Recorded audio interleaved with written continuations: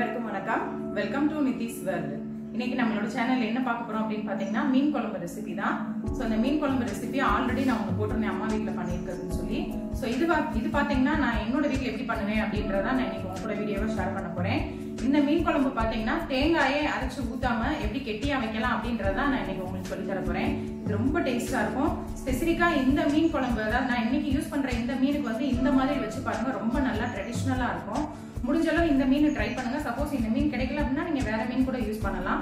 கண்டிப்பா தேங்காயை அரைச்சு ஊத்தாம எப்படி இவ்வளவு டேஸ்டா வைக்கலாம் அப்படின்றத வீடியோவை ஷேர் பண்ண போறேன்.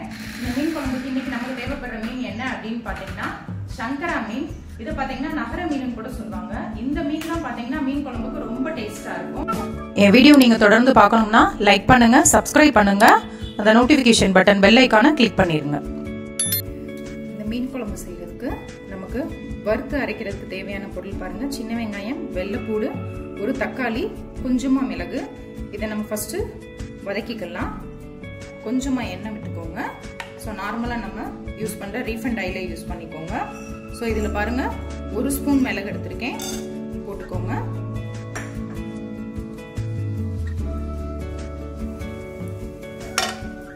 அதிலே பாருங்க ஒரு பதினஞ்சு டு இருபது சின்ன வெங்காயம் எடுத்திருக்கேன். ஸோ அதையும் இதில் போட்டுக்கோங்க. கூடவே ரெண்டு வெள்ளை பூடு பல்லு ஸோ அதையும் சேர்த்துக்குவோம். இது கூடவே பார்த்தீங்கன்னா ஒரு கருவேப்பிலை கொத்து இதையும் உருவி போட்டுக்கோங்க. இது போட்டு நல்லா வதக்கி எடுத்துடலாம். இந்த மாதிரி நல்லா நம்ம இந்த மாதிரி கருவேப்பிலை போட்டு நம்ம இந்த மீன் குழம்பு செய்யும் போது வதக்கி இறக்கும் போது அந்த கருவேப்பிலையோட வாசனை அந்த குழம்புல ரொம்பவே நல்லா இருக்கும் அது மட்டும் இல்லை இந்த கருவேப்பிலை பார்த்தீங்கன்னா சீக்கிரமாகவே நல்லா டைஜஷன் ஆயிரும் நம்ம சாப்பிட்ற சாப்பாடு. இன்னைக்கு நம்ம பார்த்தீங்கன்னா தேங்காய் ஊற்றாம மீன் குழம்பு எப்படி கெட்டியாக செய்யலாம் அப்படின்றத இன்னைக்கு நான் உங்க கூட சொல்லி தர ஸோ நெக்ஸ்ட் பார்த்தீங்கன்னா இதுக்கு மீடியம் சைஸ் தக்காளி ரெண்டு தக்காளி இது கூட சேர்த்துக்கோங்க. ஸோ அதையும் இதில் போட்டு நல்லா வதக்கிக்கோங்க.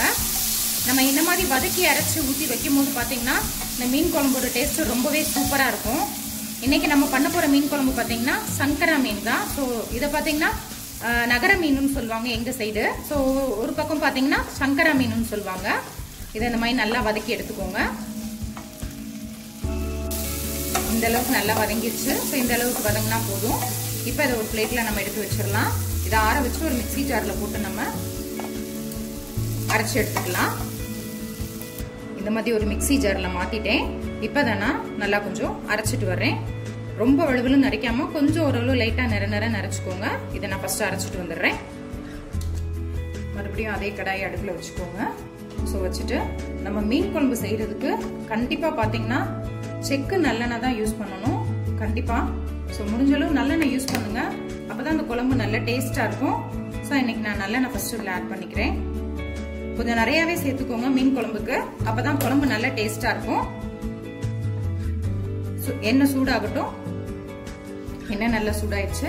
இப்போ கடுகு வெந்தயம்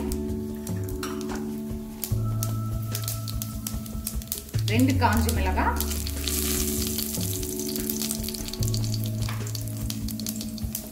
ஒரு கொத்து கருவேப்பிலை.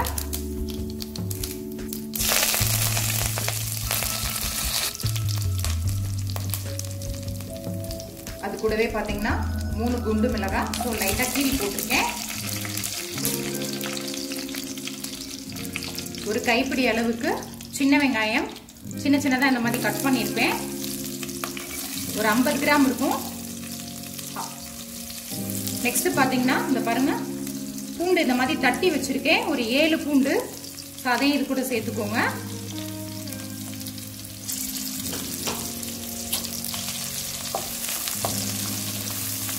சேர்த்துட்டு இந்த மாதிரி நல்லா வதக்கிக்கோங்க. இந்த மாதிரி பூண்டு தட்டி போட்டு நம்ம மீன் குழம்பு பண்ணும்போது அந்த பூண்டோட வாசனை ரொம்பவே நல்லா இருக்கும். ஒரு சிலர் உரிச்சு அப்படியே போடுவாங்க.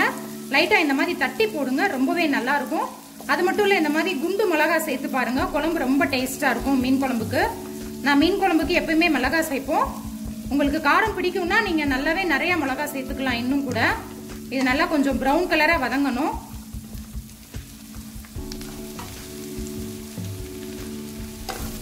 இப்போ இதுல ஒரு சின்ன தக்காளி இந்த மாதிரி. ஆல்ரெடி ரெண்டு தக்காளி நம்ம வதக்கி அரைச்சிருக்கோம். ஸோ அதனால பார்த்துக்கோங்க ஒரு மீடியம் சைஸ் சின்ன தக்காளி இந்த மாதிரி இதோட சேர்த்து வதக்கிக்கோங்க. மீன் குழம்புக்கு தக்காளி புளியெல்லாம் கொஞ்சம் அதிகமாக சேர்த்தாதான் டேஸ்ட் ரொம்பவே நல்லா இருக்கும். இதையும் நல்லா வதக்கிக்கோங்க. அடுப்பை கொஞ்சம் மீடியம் ஃப்ளேம்லேயே வச்சுக்கோங்க. இப்போ இது நல்லா வதங்கிருச்சு.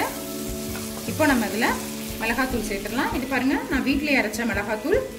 ஸோ இதுதான் நான் மீன் குழம்பு புளிக்குழம்பு எல்லாத்துக்குமே யூஸ் பண்ணுவேன். இது ரொம்பவே டேஸ்ட்டாக இருக்கும். ஸோ இதோட லிங்க் உங்களுக்கு வேணும்னா நான் இதோட எண்ட் ஸ்க்ரீனில் நான் உங்களுக்கு இதோட லிங்க் கொடுக்குறேன். நீங்கள் வீடியோ முடியும் போது இதோட லிங்க் வரும். அதை நீங்கள் டச் பண்ணி பார்த்துக்கலாம். இந்த மிளகாத்தூள் எப்படி பண்ணலாம் அப்படின்றத நான் அதில் சொல்லியிருக்கேன். அந்த வீடியோ நான் போஸ்ட் பண்ணியிருக்கேன். நீங்கள் பார்த்து தெரிஞ்சுக்கோங்க. இப்போ இந்த குழம்பு மிளகாத்தூள் தான் நான் மீன் குழம்புக்கு சேர்க்க போகிறேன் ஸோ வீட்டிலே அரைச்சி பண்ணுறதுனால இது ரொம்பவே டேஸ்ட்டாக இருக்கும். ஸோ இது பாருங்கள் நான் இன்னைக்கு ஒரு மூணு ஸ்பூன் சேர்க்க போகிறேன் ஸோ அளவு மாற்றிக்காதீங்க உங்கள் காரத்துக்கு தகுந்த மாதிரி கூடுதல் அளவு குறையாவே போட்டுக்கோங்க. ஸோ முடிஞ்ச அளவு இந்த மாதிரி வீட்டில் அரைச்ச மசாலா நீங்கள் சேர்த்தீங்கன்னா மீன் குழம்பு ரொம்பவே நல்லா இருக்கும். நான் வீட்டில் அரைச்ச மசாலா தான் எப்பயுமே மீன் குழம்புக்கு சேர்த்துக்குவேன். ஸோ அதை இந்த மாதிரி போட்டு நல்லா எண்ணெயிலே போட்டு நல்லா வதக்கிக்கோங்க. இப்போ இது கூட பார்த்தீங்கன்னா நான் புளி கரைச்சி வச்சுருக்கேன். ஒரு மீடியம் சைஸ் நெல்லிக்காய் சைஸ் பாருங்கள் இந்த அளவு. ஸோ இந்த அளவு புளியை நான் நல்லா சுத்தமாக க்ளீன் பண்ணி கரைச்சி வச்சுருக்கேன். ஸோ இது பார்த்தீங்கன்னா ஒரு இரநூத்தம்பது லிட்டர் தண்ணியில் நான் கரைச்சிருக்கேன். உங்கள் குழம்புக்கு தேவையான அளவு நீங்கள் புளி கரைச்சிக்கோங்க. இப்போ அதுல நான் புளி தண்ணி ஊற்றிட்டேன் ஸோ ஜென்ரலாகவே நான் சொன்னதான் மீன் குழம்புக்கு புளி தண்ணி கொஞ்சம் அதிகமாகவே சேர்த்துக்கோங்க. அப்போ தான் டேஸ்ட்டாக இருக்கும். இப்போ இது கூட பார்த்தீங்கன்னா ஒரு அரை ஸ்பூன் வந்து மஞ்சத்தூள் சேர்த்துக்கோங்க. குழம்புக்கு தேவையான அளவு உப்பு சேர்த்துக்கோங்க. கல்லுப்பு தான் சேர்க்கணும். இதையும் சேர்த்துட்டு குழம்பு நல்லா ஒரு பத்து நிமிஷத்துக்கு நல்லா கொதிக்கட்டும் என் வீடியோ நீங்கள் தொடர்ந்து பார்க்கணும்னா லைக் பண்ணுங்கள் சப்ஸ்கிரைப் பண்ணுங்கள் அந்த நோட்டிஃபிகேஷன் பட்டன் பெல் ஐக்கானை கிளிக் பண்ணிடுங்க அஞ்சு நிமிஷம் ஆச்சு. குழம்பு நல்லா கொதிக்குது. இப்போ நம்ம இதை பாருங்கள் மிக்சியில் நான் ஒரு ரெண்டு சுத்து சுத்திருக்கேன். ஸோ இந்த மாதிரி குறை குறைன்னு அரைச்சிக்கோங்க. ரொம்ப வலுவலுன்னு அரைச்சிடாதீங்க. நல்லா இருக்காது. அதான் இப்போ இது கூட சேர்த்துடலாம்.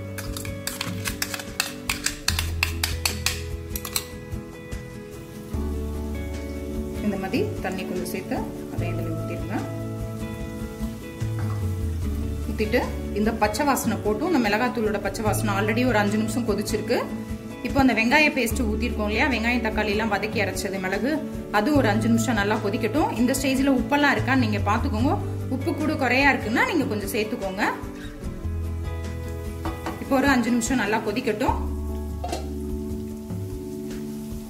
இந்த பச்சை வாசனை எல்லாம் போயிடுச்சு. இப்போ நம்ம இதுல மீனை சேர்த்துடலாம்.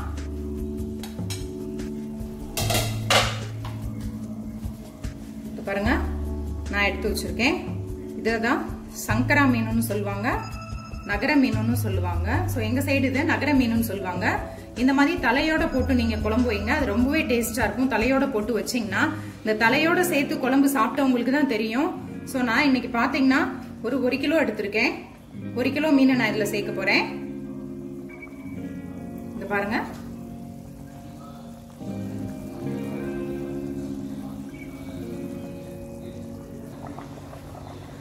இந்த பாருங்க நான் தலையை கூட சேர்த்துருவேன். ரொம்ப பிடிக்கும் எனக்கு தலை குழம்பு குழம்புல நம்ம போட்ட தலை.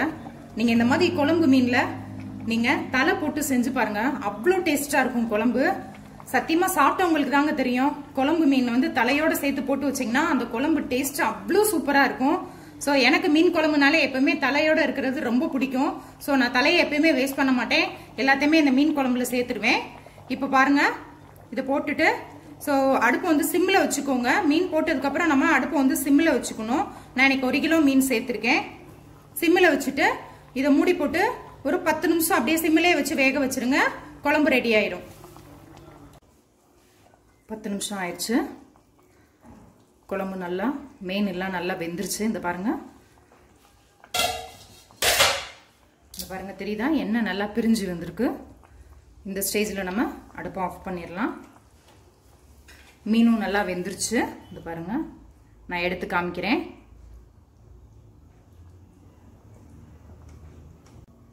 பாருங்க. மீன் நல்லா வெந்துருச்சு. நம்ம போட்ட மீன்.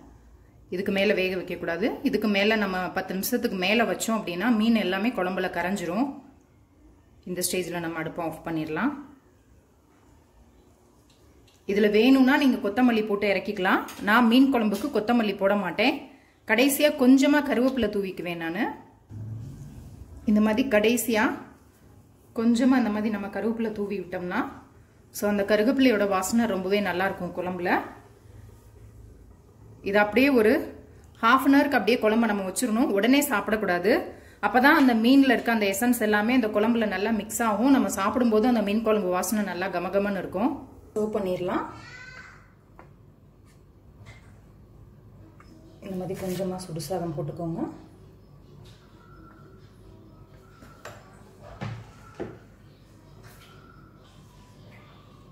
சாதம் சுட சுட போட்டு அதில் இந்த மாதிரி குழம்பு போட்டுக்கோங்க.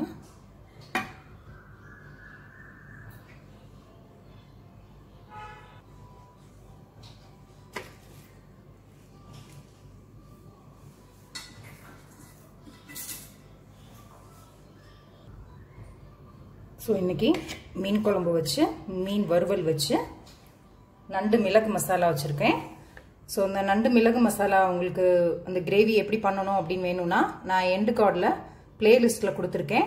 நீங்கள் அதை பார்த்து தெரிஞ்சுக்கோங்க இந்த வீடியோவை எப்படி பண்ணணும் அப்படின்னு.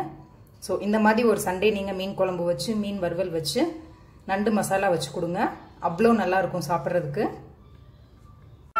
என் வீடியோ நீங்கள் தொடர்ந்து பார்க்கணும்னா லைக் பண்ணுங்கள் சப்ஸ்கிரைப் பண்ணுங்கள் அந்த நோட்டிஃபிகேஷன் பட்டன் பெல் ஐக்கானை கிளிக் பண்ணிடுங்க அவ்வளோதான் வீடியோ பார்த்துருப்பீங்க. பிடிச்சிருக்கும்னு நினைக்கிறேன். கண்டிப்பாக இந்த மீன் குழம்பு இந்த மாதிரி ட்ரை பண்ணி பாருங்கள் ரொம்பவே நல்லா இருக்கும். ட்ரை பண்ணி பார்த்துட்டு ரிசல்ட் எப்படி இருக்குது அப்படின்றது மறந்துடாம கமெண்ட் செக்ஷனில் சொல்லுங்கள் இந்த வீடியோ பிடிச்சிருந்துச்சுன்னா உங்கள் ஃப்ரெண்ட்ஸ் எல்லாருக்குமே ஷேர் பண்ணி விடுங்க தேங்க்யூ தேங்க்யூ டு ஆல்